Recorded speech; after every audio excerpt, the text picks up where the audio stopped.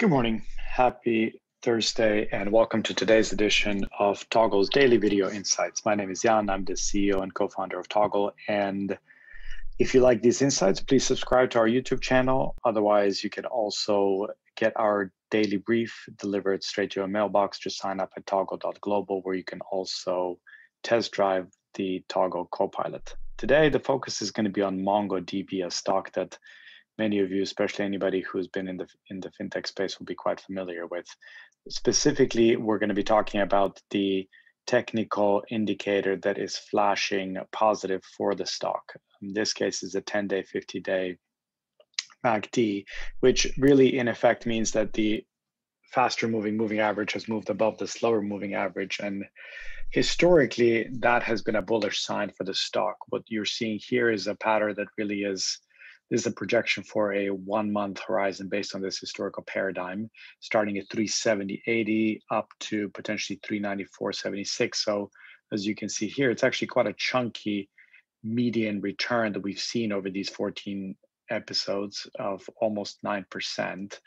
And uh, the way to think about this is that the trend seems to be picking up, that in effect, after this correction here, potentially the stock is now gathering steam again. Now, encouraging about this pattern specifically is that it really has been occurring quite frequently over the past two years. Now, the reason why we're giving it seven rather than eight stars is obviously it's a pattern that doesn't have as much price history.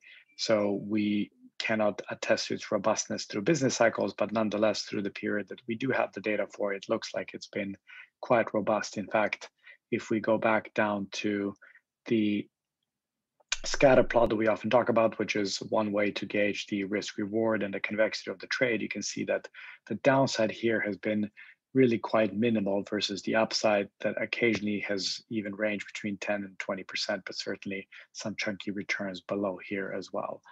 So much for MongoDB today. In the daily brief, we also discuss how profitable money printing has been for the US government. So if you have an interest, pull up the daily brief in your mailbox and take a look. If you don't have it, again, subscribe at toggle.global or else subscribe to our YouTube channel. We'll alert you to it and give you a brief overview every morning.